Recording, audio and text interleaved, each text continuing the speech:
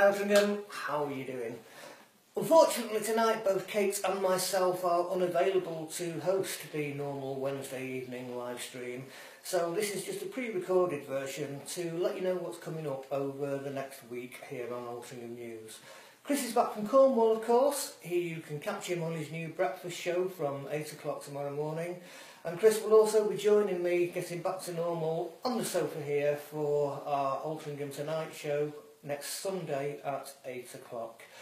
We're also still looking for help here on Altrincham News and that's Altrincham. If you'd like to get involved, please contact us on either of the pages and we will see you again very, very soon.